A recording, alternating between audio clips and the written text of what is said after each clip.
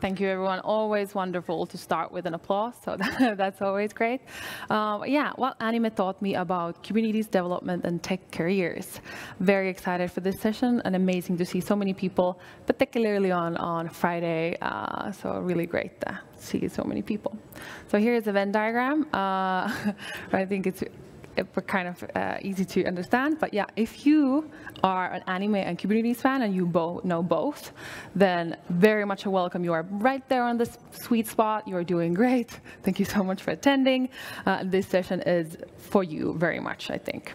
If you know Kubernetes, but you don't know anime at all, then uh, you will likely learn a lot about um, anime. So welcome and, and enjoy if you know anime but you're new to Kubernetes, then you will definitely learn about Kubernetes. So that's really great as well. Welcome to you as well.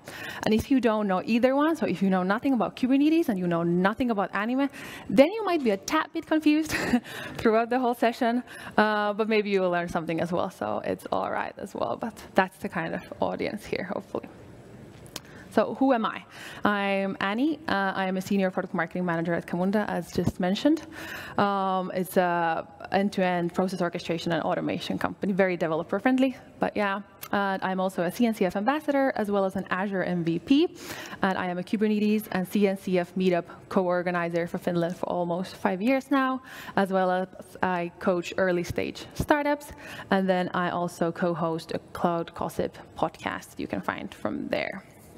So this is the usual slide that I do in conferences every time, but now I do want to obviously add that yes, I'm a huge fan of anime as well as manga and all of the kind of things that come with that. Um, and maybe as a kind of uh, mark there, uh, I stopped counting how many animes, like how many different animes I've watched at the 150 mark. So after that, I was like, okay, it doesn't matter anymore. Let's just keep watching and it's all good. Um, so I can definitely say that I have clearly over 10,000 hours. That's the expert amount, I guess, uh, in. So it's all nice. Yeah. So what is this session? It's maybe a uh, bit of a special or other session in KubeCon for sure. Uh, but we are in the 101 track, so this will be kind of basics of Kubernetes, will be portion of the session, uh, taking you through uh, what's those kind of things. And then uh, it's also a relaxed fun take on things. So it's it's not a, this is not a very super serious session, not at all to be honest. So uh, that's the kind of expectation management here. And as a uh, maybe mini warning, there's going to be GIFs, so there's going to be a lot of flashing maybe sometimes, but none of it will be full screen, so no worries uh, at all. It will be hopefully tasteful. Yeah. Then the agenda for today, introduction, going on strong right now, really nice. Uh, and then we're going to move to Badly Illustrated Anime Fans Guide to Kubernetes in the spirit of the Phippy's uh, very well illustrated guide to Kubernetes, essentially. Um, and then we are moving to Kubernetes components in anime fashion. And then we have 10 lessons learned from anime. Uh, and with one bonus lesson, lesson in the end as well. So that's the agenda for today. Uh, and now, done with introduction, we're doing well, perfectly. And then we're gonna move to Badly Illustrated Anime Fans Guide to Kubernetes. If you are a aspiring anime hero, the main character and so forth, you are all alone in the world, or maybe not alone, you're surrounded but alone. You are starting your journey. You probably need a lot of learning. You need a lot of leveling up. You're just getting started.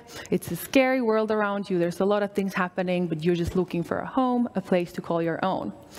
Uh, there might be a lot of people uh, in the anime world who are like this. For example, Naruto started off as a very misunderstood character in his own place. There was a lot of things around him, but definitely he did not feel at home or, or at ease at his own uh, place.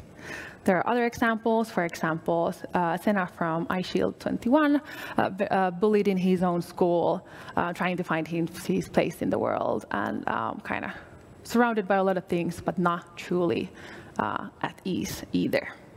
There are other examples, obviously, as well. There's Shinji from Neon Genesis Evangelion, as well, or plenty of others who might have had big turbulences in their life.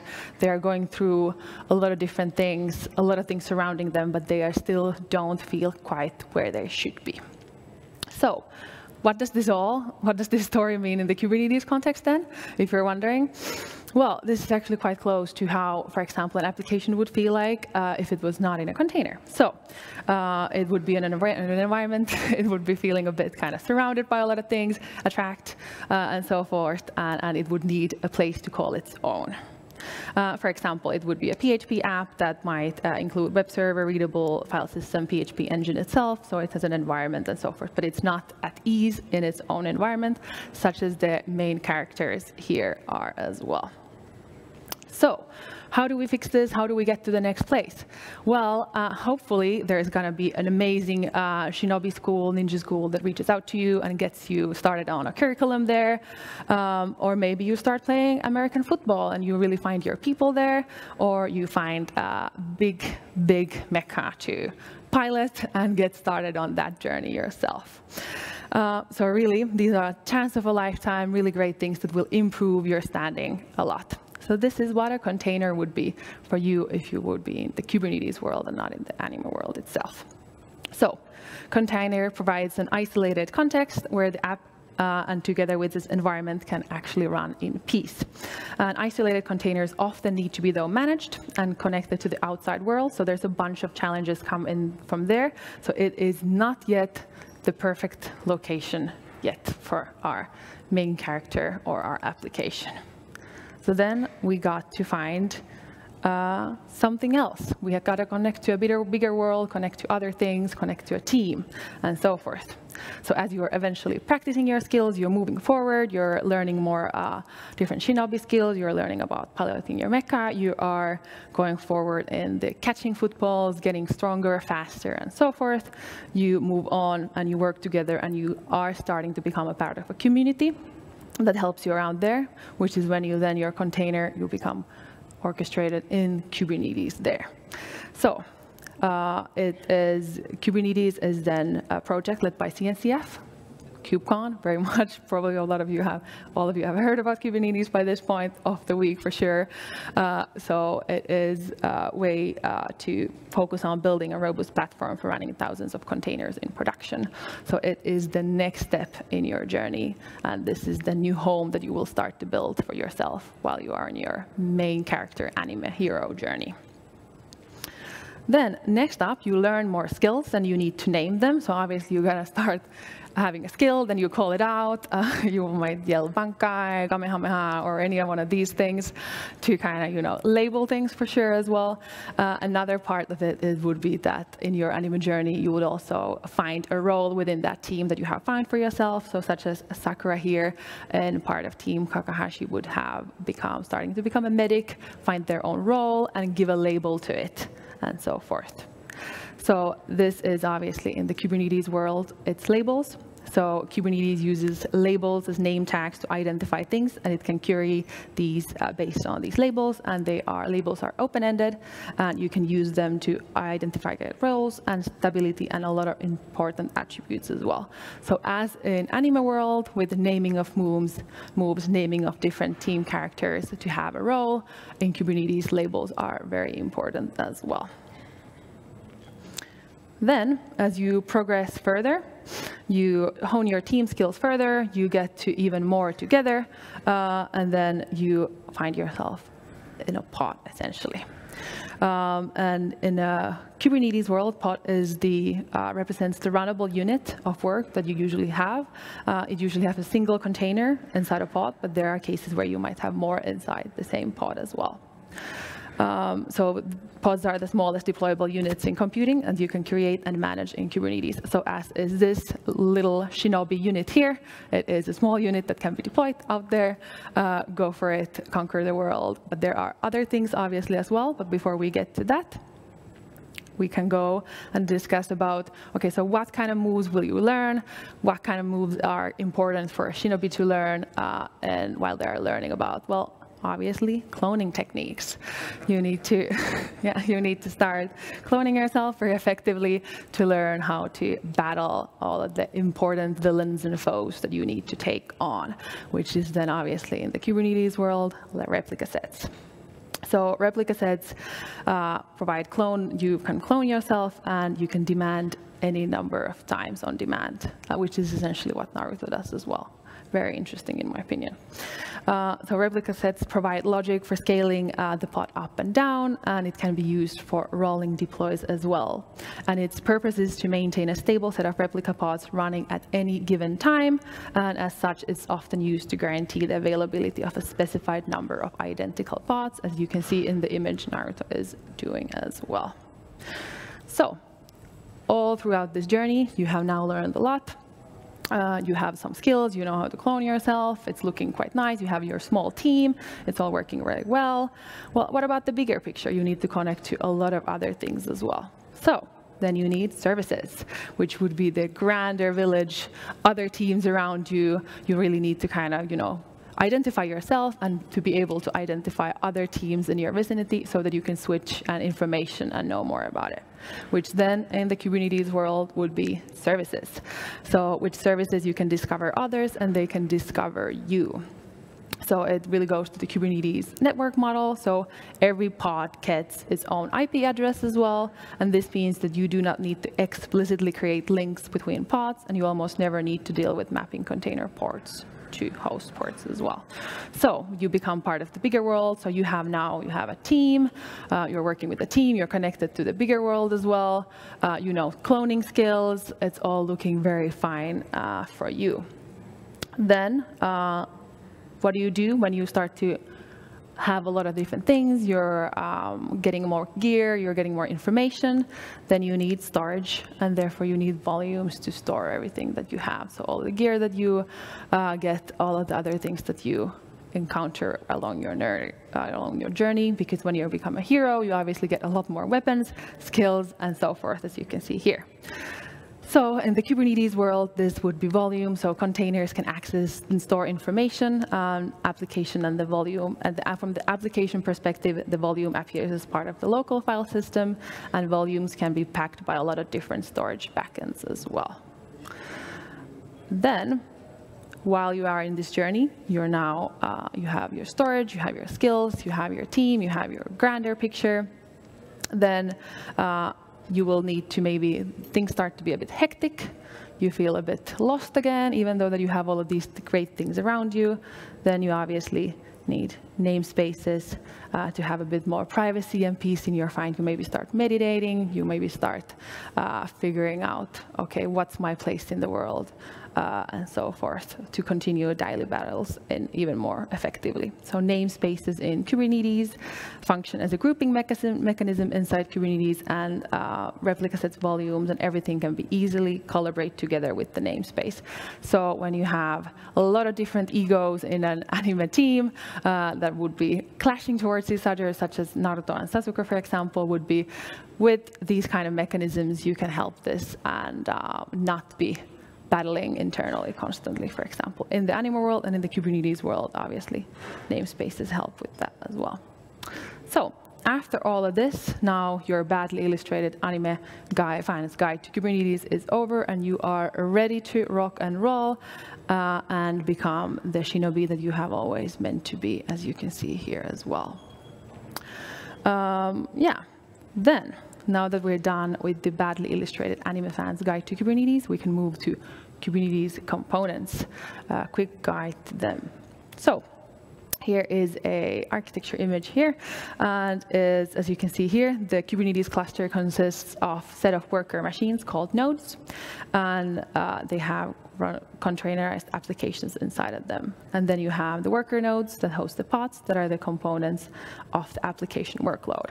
So now uh, the control plane uh, is a lot leaner and um, uh, not as bulky in a way, but then at the same time, the nodes do the most of the work, but the control plane is the one that controls all of the others. So then in the Anima world, it would look something like this. You have Kakahashi controlling the team, uh, telling the little nodes, aka Naruto, Sasuke, and uh, Sakura, telling them what to do and what to do in the next step as well. So this is one example of how this would look like in the world. And like there's a bonus there as well. There's a Hokage in there in the uh, uh, cloud API provider point because then it's giving even higher level of instructions from there. So this is one part of it, but if you put it into another part, we would get Death Note, and we have uh, the, mas yeah, the Mastermind L controlling all the different Japanese task force members. And I think this example is particularly uh, fitting because L itself is very much a mastermind behind uh, everything, telling uh, all the others do a lot of the kind of more bulky heavy lifting for sure. Now, this analogy doesn't maybe work for all cases, uh, because I think for the Straw Hats, uh, you can technically say that Luffy is in control because he is the captain, but is he really? most of the time, probably not. So it, it doesn't always hold up, that's for sure. Uh, yeah, but those are the Kubernetes components in Anime World handled briefly there. So then we get to 10 lessons learned from anime. Lesson number one, importance of a team. So as always, uh, from One Piece to Naruto, we've talked about the team a lot here today. Uh, there is, from Naruto to One Piece to Neon Genesis Evangelion, there's always a really uh, overarching team, the team that makes, is what makes you succeed, and it's what will kind of uh, get you to the next level. Particularly One Piece, for example, the sum of the uh, people alone is not as strong as them together working towards a common goal. Um, and as a really important lesson there, everyone has a role to play within the team, and it's really good that everyone has a specified role as well. And the same really apply to Kubernetes and the tech world in general. If you're in an engineering team, for example, it makes sense to have your own role, but also everyone should be playing together really nicely and complementing each other and working together to build uh, really great uh, applications and infrastructure. So uh, what's the next level from this basic team? Obviously, if you can, you could combine yourself into a one major thing that you're kind of really becoming together and taking it to the next level, becoming a uh, essentially one big mecha where you're combining everything together. Now, what would be the Kubernetes world or technology world equivalent of this? Well, it would likely be this. So if you have this long list of things that recorders need from you, uh, this would definitely be something that would be the combining mecha of the uh, Kubernetes and tech world for sure. Hard to find. If it was, if someone had all of these uh, skills as a full stack developer, pretty much a unicorn for sure. Yeah. Then, next up, we have there's always going to be characters and people around you with mysterious characters with dark past. And Sasuke here is a great example of that. He's a bit uh, emo, maybe a bit mysterious, maybe mopes in a corner a bit, never smiles, a bit cold-hearted, and doesn't really say that much, but has a lot to leverage from his past as well, because all of those hardship has taught them a lot, and now they can kind of leverage that, but they are a bit moody, and they are, you know, kind of um, a bit their own thing. Uh, there's probably a lot of different people in development teams with this kind of um, nature, or it depends on personalities as well. But I think one great example of people with a lot of dark, mysterious past uh, and a bad lot to give at the same time would be, for example, mainframe coders. They probably are back there in the room telling stories, but yeah, it's, it's a great, great position to be in at. Yeah. So then, lesson three, self-development. So with any anime fight, you always have, uh, well, even a fight or multiple fights. If you're trying to beat a big villain, you, you know, end up uh, inevitably, you need to get new skills, you need to scale up, you need to get a lot of new skills fast. Essentially, you need to go quite often to literal or metaphorical cave and just level up as fast as you can and come out of there and, and get moving. Um, and really, these kind of things are, are, really great and lead to a lot of great triumphant moments in, in animes, for example. But I think also um, there's a lot of great examples in Bleach or in Dragon Ball and so forth. Uh, and this obviously applies really well to tech careers in general uh, and Kubernetes world as well. So Uh, what would be the Kubernetes or technology world equivalent of going to a cave and really skilling yourself up and coming out? Well, for example, convincing your manager to get you a KubeCon ticket, coming here, leveling yourself up, and emerging a completely new person with so many new skills and uh, knowledge that you're going to then wow everyone with all of your skills. Uh, another thing would be, for example, if you get a, um, a Linux Foundation or CNCF Foundation certification. So then you're again going somewhere, training yourself and emerging as a new person with new skills. And particularly uh, in Anime World, usually when you come out of that cave, you get, come out with fancy new weapons, badges, outfits. So what would be better than having a certification badge in your LinkedIn profile, for example? It's essentially the same thing as Bankai or, or any of these fancy acts. Yeah. Then, next up, we have uh, you need to take time to relax. And this image here is a bit giving it away because there's the very infamous beach episode, always that comes up at some point. Uh, so it's, I think, a great lesson to learn to take time for yourself, have holiday, have breaks, because if the world-conquering anime heroes of uh, you know, unparalleled scale and, and um, skills, they need to take a time off, go to the beach, base, play some volleyball, do some errands, uh, then you definitely need to as well. So it's always good to remember. And I think another great uh, comparison here would be a feature freeze.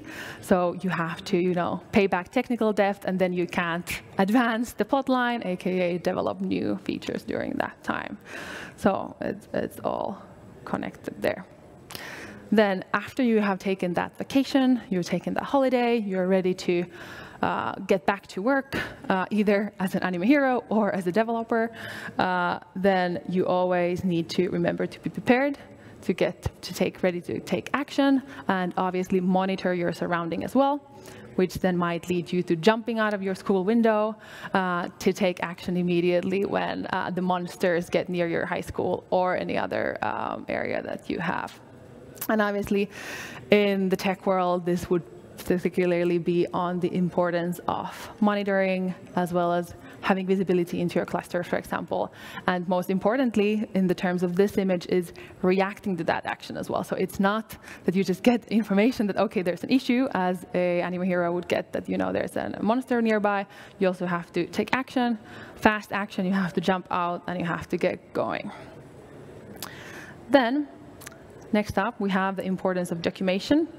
Uh, this is a bit connected to the labels part as well uh, in, in, in, the animal world, because I think what would be better documentation? You know, what's the, what's the priorities for documentation, you need to tell your team members what you're doing, and you need to provide a historical context of what you're doing.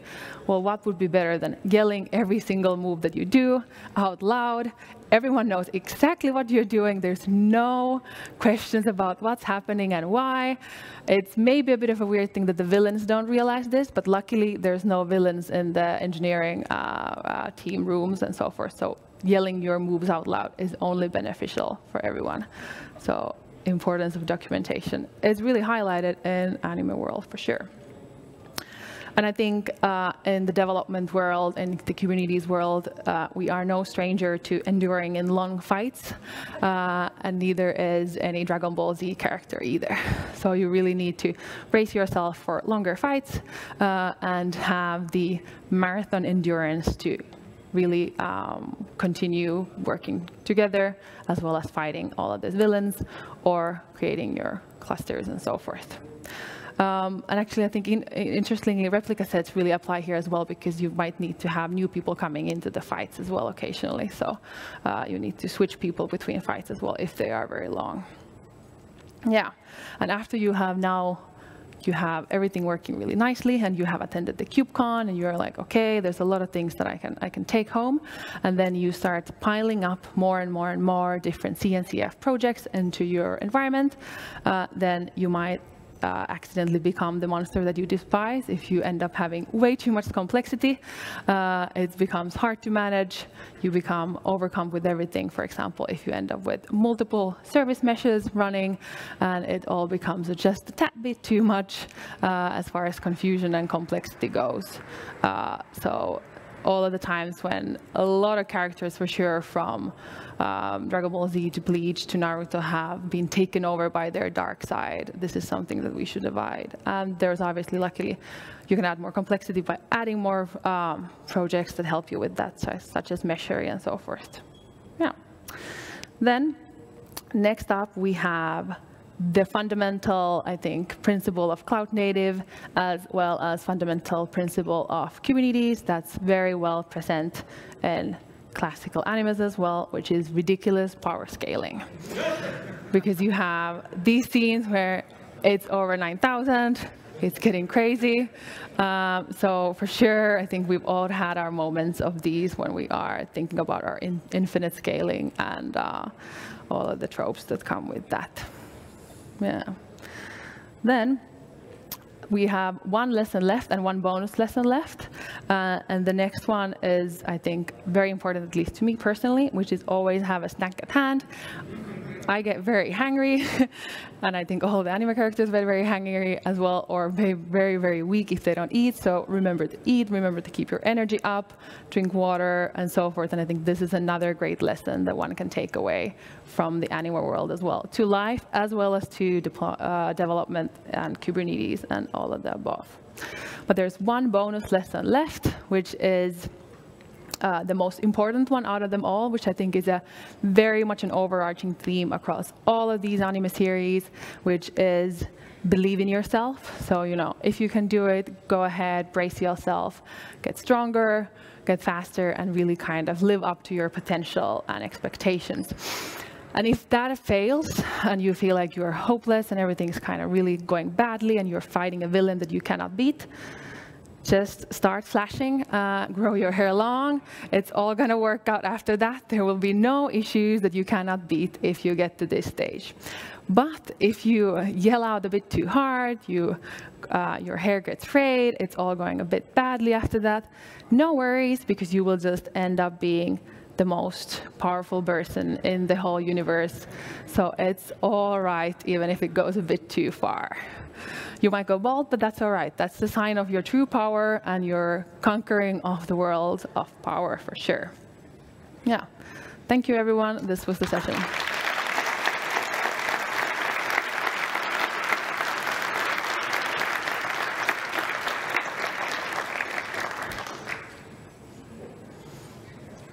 All right. Uh, if you have any question, uh, just hand out. Uh, I'm going to pass the mic to yours.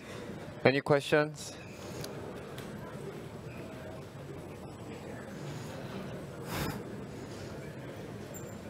I think so you're great. Yeah, yeah, yeah. It's all yeah. completely clear. okay, uh, thanks for attending. Oh, yeah. Go for it. Uh, what's your favorite uh, anime then? Uh, that's the most difficult question for sure. Uh, well, for me, I started with Dragon Ball and Dragon Ball Z, so that's kind of like super close to my heart. But then I think I really like Bleach when going further. But from other genres, I really like Nana and other things as well. But I think one of my favorites is Darker Than Black as well. Uh, which is a bit less well known. There, but there's a lot. There's too many. One Piece is a classic as well. yeah. All right. Uh, thanks for attending and have a good rest of the day. Thank you, Annie.